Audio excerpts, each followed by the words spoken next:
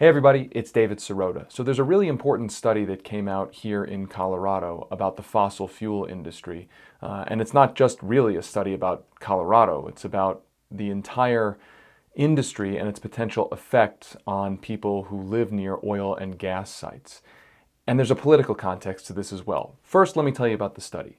Uh, this is a study published by uh, the Colorado School of Public Health at the University of Colorado's Anschutz Medical Campus. Now keep the name Anschutz in your mind. We'll get to that in a second. The study found that people living close to oil and gas wells may be at higher risk of cancer and other health issues than their neighbors further away. Now, current Colorado regulations say that oil and gas wells can't be closer than 500 feet uh, to residential areas, but Boulder County, one county where there's oil and gas development, its health officials say that setback amount may not be sufficient in light uh, when you consider the, the, uh, the study's findings about health effects.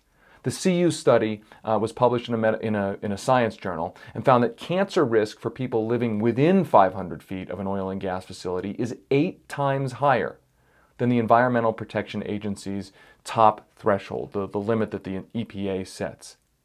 So this is a really important study. Now, I mentioned the name Anschutz. Remember that name because there may be pushback to this study where you'll hear uh, the oil and gas industry may argue that this is, you know, they, they'll try to debunk the science. They'll try to say, oh, this is just liberal fear mongering. Anschutz is the last name of Phil Anschutz, the conservative oil magnate.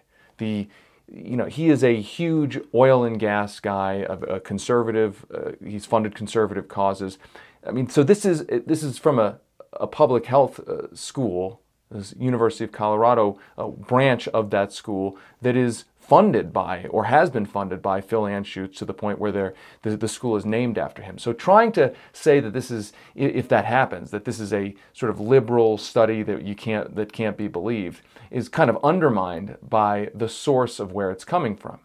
And this is a real scientific study here in Colorado. I'm sure there's going to be questions about it. The oil and gas industry will likely try to challenge its findings, but those are the findings. Now, what's the political context? Because this study is coming out at a very important time in the political debate here and across the country when it comes to oil and gas development. This study comes out uh, right around the same time that Colorado's Republican Attorney General Cynthia Coffman is trying to overturn a key legal ruling designed to protect public health and the environment. Coffman, who was running for governor, this is from a Denver Post story, she sent a 68 page argument urging Colorado's Supreme Court to overturn an existing legal ruling requiring the protection of people and the environment before oil and gas drilling can be done. So think about that.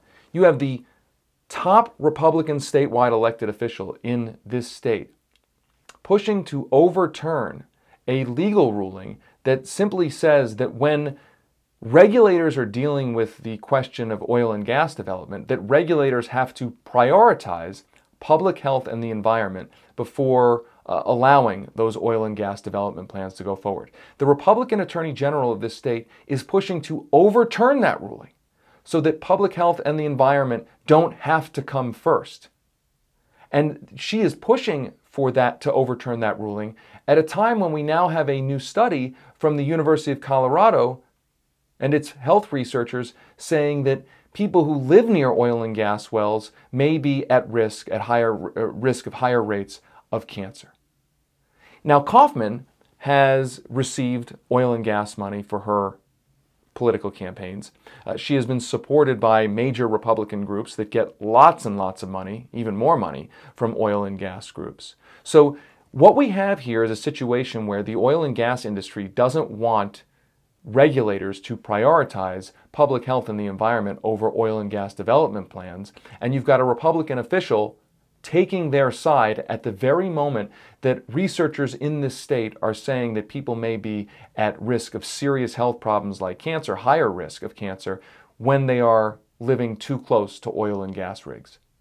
This puts together all of the different concurrent trends when it comes to the debate over fossil fuel development, uh, climate change, and the like. You've got science now colliding with a political effort to basically say that people and the environment should not be prioritized over oil and gas development. How is the Colorado Supreme Court going to rule? That's a big question. And it's a question that a lot of people I can tell you here in the state are waiting to hear the answer about. It's a really, really important case. But even beyond Colorado, this what we're learning from all of this science, whether it's science about fracking uh, and, and oil, uh, excuse me, and water uh, supplies, uh, what, now we've got science about the potential health effects from pollutants uh, living near oil and gas uh, rigs in general. There's obviously climate science, that the science collides with the politics. With politics, the, the oil and gas industries uh, politics, the oil and gas industry's political representatives, effectively, its political allies, in this case, a Republican Attorney General. The science collides with the politics, and they are in direct tension. The science in this case is saying that people may be at serious risk of major health problems for living too close to oil and gas rigs. The political process, meanwhile, through the Republican Attorney General's office, is saying the state should not prioritize public health and the environment over oil and gas development. How the state Supreme Court rules is going to be a big landmark decision. It will probably have ripple effects not only in Colorado, but all across the country as, as science and oil and gas development increasingly Uh, come into conflict with each other.